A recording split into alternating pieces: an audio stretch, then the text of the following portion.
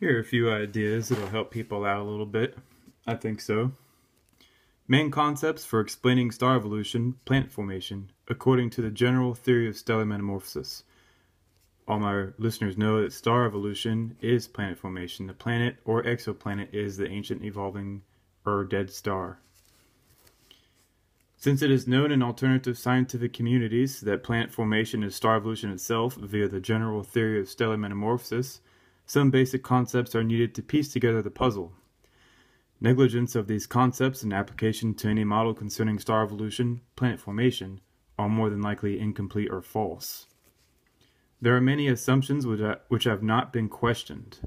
So before any real investigation can be had, we must question them. See that? We must question the assumptions. That's what they don't do in astrophysics. They don't question the assumptions they keep the assumptions and they build models of reality which have nothing to do with what they're actually studying. As the reader shall see, there are hidden assumptions. These are lots of hidden assumptions available. Taken as fact, of course, they take these assumptions as fact, and you can't really do that before there was any real investigation of the stars. So basically, they assumed these things to be true before they started investigating the stars, and then they built mathematical models and went off into oblivion with them. But here we are. I think I found a lot of these hidden assumptions. The first one is that Earth was always solid and liquid material throughout its evolution. What's actually going on is that Earth was all phases of matter. I think Baz Taylor's working on a video for me overviewing this in larger proportion earlier during its evolution. This assumption led to hundreds of false conclusions, such as Earth forming as is or very close to as is basically what happens is the establishment of science wants you to believe that in outer space a bunch of rocks just clumped together and made the earth. And then the earth just stayed the same size for many many billions and billions of years. This is bad very really bad reasoning. What actually happens is well i'm going to start at um, blue giant blue star. What happens is is that the star cools collapses shrinks and dies,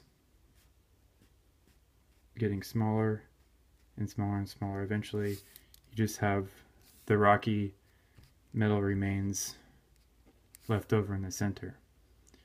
These things were once these things, but as it cools and dies, it transforms and undergoes a metamorphosis.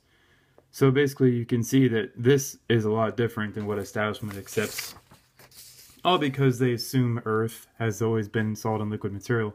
Truth is, it was all phases of matter, including supercritical and plasmatic and even gaseous matter, which was all three states were very much much more uh, energetic. Here's another one. Earth did not evolve greatly to its current configuration and structure, involving every single chemical and physical law currently known to humanity. It formed as is from preformed rocks via gravity alone. What we have here is every single physical and chemical law currently known to humanity versus, oh, the rocks were just there in outer space and they clumped together. Do you see how horrible this is? Or I like the word heinous. This is heinous theory development. And currently, astronomers, astrophysicists, and geophysicists use this heinous understanding. They say preformed rocks just clump together. Okay, where is the gravitational field? How the rocks clump together? How the rocks form? Rocks are made of chemical combination or chemical compounds. Where's the pressure at in outer space? Outer space is vacuum. Where's the heat? Where's the refractory material to keep the heat from escaping when the rocks are melting together in outer space? They don't have any of those answers because they assumed Earth did not evolve greatly to its current configuration and structure. Remember, to them, it's just always been like this forever and ever and ever. Yet, when we look in outer space, we see gaseous and plasmatic and energetic objects. Clearly, that's what the Earth was. Number three, all stars are plasma, hot gas only. This is one of this is the worst kind of assumption. Okay, so what happens when the gaseous matter cools down? Hmm? What happens when the gaseous matter cools? It's going to remain gaseous and interject forever? No. As stars age, they cool down. Plasma becomes hot gas, hot gas becomes supercritical fluid, which then cools down to liquids and solid material. This means stars are comprised of all types of matter in very large proportions as they evolve. Pretty straightforward, don't you think? Here's another horrible assumption that's kept since the 1920s and still taught to this day in the top universities in the world. All stars have visible spectrums. This is bad. Bad, bad, bad. What happens? What if the star cools down to where it can't shine anymore? Oh no. What happens is that they become planets. They call them planets and they're completely separated from the, the stars. They separate them in their minds with language. It's so weird how that goes down, isn't it? The vast majority of stars do not have spectrums because they have cooled down too much. Astronomers call them exoplanets. Planets, I gotta edit that right there. Weird. And they exist in even larger proportions as do population 1 stars, which I have defined as plasmatic young stars or stars with visible spectrums. Population 1 stars to me are not Baade's interpretation of it.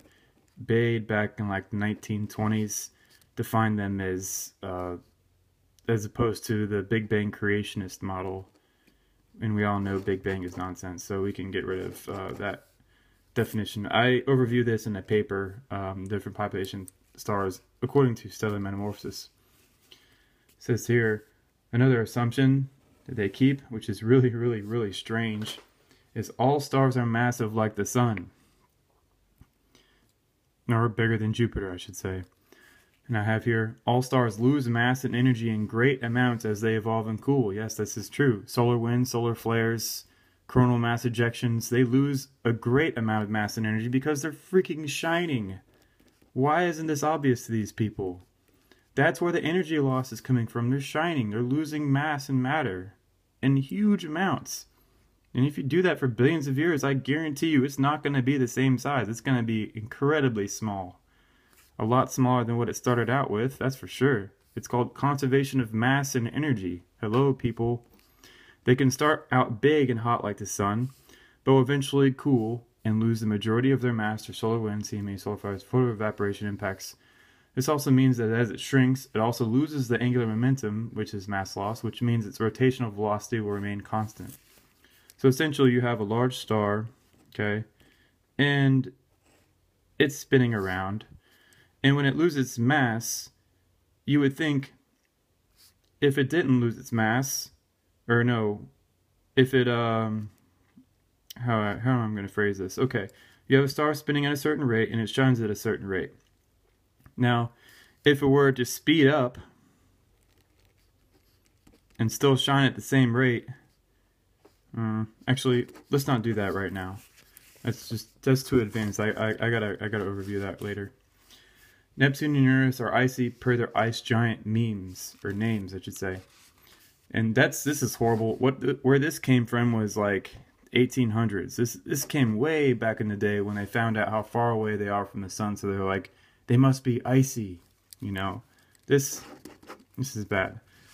What happened is the Voyager went and saw them and emit as much, if not more, energy than they receive from the sun. Ice doesn't do that.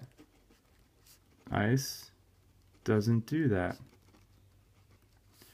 How does ice emit more energy than it receives from the sun? That doesn't make any sense. Ice?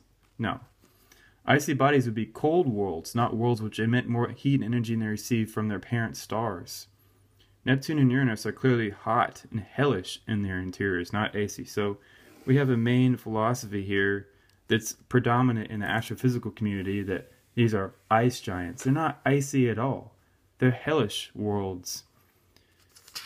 Way, way, way hotter than the Earth, even. And here's the main assumption planets are byproducts of star formation. This is horrible. This came from 1700s, even earlier than the previous one. Planets being byproducts of star formation is old school um, theorizing that doesn't actually apply to nature anymore because of the Kepler finding these exoplanets doing things that were not allowed. It says here, planets are byproducts of stellar evolution. The planet is the ancient star as it evolves and dies. As a star evolves, it cools and cools, it forms one planet, not multiple planets, as it retains its spherical shape, cools, and dies. This is a simple Occam's razor. Mother Nature does not waste. In their theory, they have a hot star forming, and then everything else, all that remains, just form around it. Huh? That's dumb. What actually happens is that this star is actually moving through a galaxy, okay? And it adopts objects which are in the way. Okay? These objects are pre-existing older stars, and as it moves through the galaxy, it picks them up, forming systems. These are just older stars. This all didn't form at the same time. And as this one cools and dies, it becomes one of these things. And then obviously when this cools and dies, it loses track of all these and then it just keeps on going. And then this starts orbiting. Once it gets to this level, it will keep on going and take up orbit around a different hotter star. It was a lot younger. And it'll, people will call them a planet. It's, it's a cyclical kind of thing here, people. It's not it's not what 1700 science says it does. It says it is, I mean. Alright, I'll stop at number 8, make another video. Hang on a second.